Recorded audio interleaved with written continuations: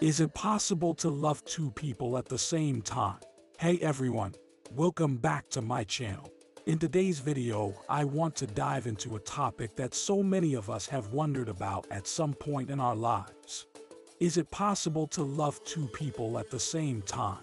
This is such a common question and experience for people, especially as we go through different relationships and stages of life. I want this video to provide a thoughtful and empathetic discussion about the complex emotions and motivations behind this situation. My goal is that anyone who has been faced with these feelings can come away with a deeper understanding and compassion for themselves. While it may seem black and white, the capacity to love and what defines love itself is such a nuanced thing. There are many factors to consider when exploring whether loving two people simultaneously can work or is morally right. We'll be digging into both sides of the debate. First perspective.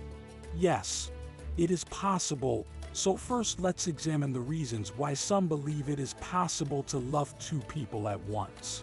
There are a few key arguments on this side. 1. Love is not finite. The common expression is there's room in my heart for you both, meaning that the heart's capacity to love is not limited to just one person. Just as we can love many friends and family members, some believe romantic love can expand too. 2. Different people fulfill different needs. Oftentimes the two people involved satisfy separate emotional needs. For example, one provides stability and comfort, while the other provides passion and excitement. Both connections are meaningful. 3. People change and grow. Over the course of life, our needs shift. And we may feel we've outgrown a relationship that was once fulfilling, while still caring for that person. Feelings can develop for someone new. Honoring both relationships demonstrates maturity. 4. Society's standards are too rigid. The idea that we should only romantically love one person for our entire lives does not work for everyone. Some believe we must create our own definitions of commitment that work for our needs. So in essence, this viewpoint takes a wider perspective on the human heart, believing it has an innate ability to expand its love to nurture multiple meaningful relationships. Second perspective, no, it is not possible. Now let's explore the opposing side, which argues it is impossible to truly love two romantic partners at the same time. The key points here are 1. True love requires full commitment. Real love means dedicating yourself completely to one person in both your actions and emotions. Split focus will hold you back from intimacy and devotion in relationships. 2. Jealousy is inevitable. No matter how enlightened you may think you are, the human brain is wired to be territorial when in love. Over time, jealousy will erode a polyamorous relationship. 3. Balance is unrealistic long term. Trying to maintain equal passion, effort, and responsibility between relationships sounds appealing but rarely plays out. Over time, one connection often suffers. 4. It's a slippery slope.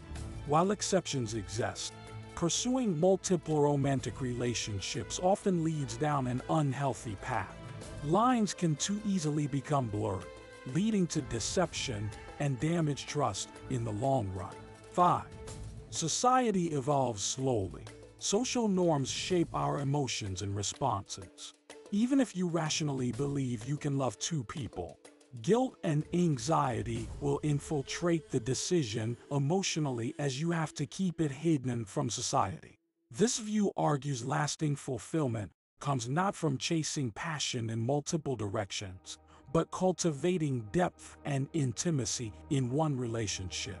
True commitment and selfless love is only possible between two not divided across three or more. My personal thoughts. So now that we've explored perspectives on both sides, I want to share my personal thoughts on this heated debate. I can certainly understand valid points made by each viewpoint. However, in my opinion, while caring deeply about two people is common. Truly being in love with two people simultaneously is challenging. Here are three key reasons why I've come to this conclusion. 1. Long-term stability is difficult.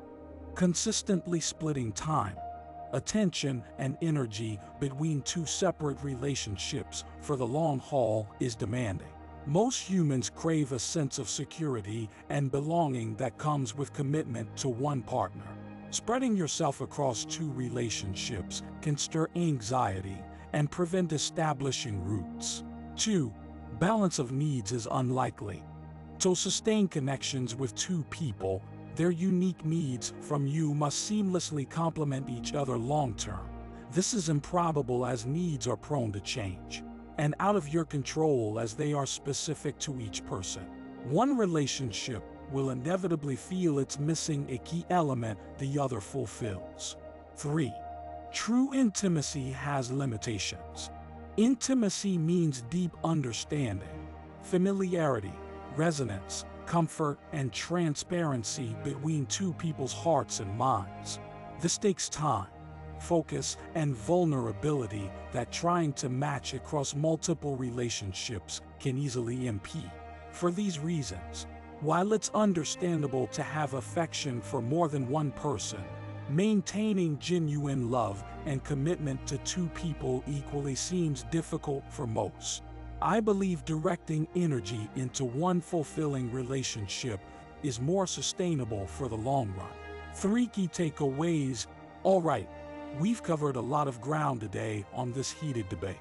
To wrap things up, here are three key takeaways to keep in mind. 1. There's no absolute right or wrong. Each person needs to examine their own heart and motivations.